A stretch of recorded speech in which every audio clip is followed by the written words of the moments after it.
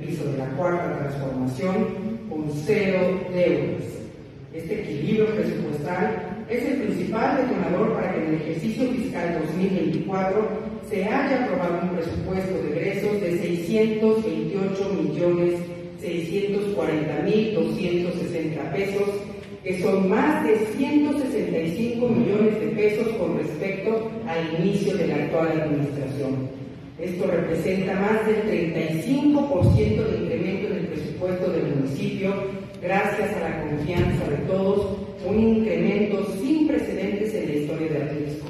Estos recursos, invertidos en acciones y obras como se detallan en el presente acto, son posibles gracias infinitas a los ciudadanos responsables que con cabalidad han pagado sus impuestos.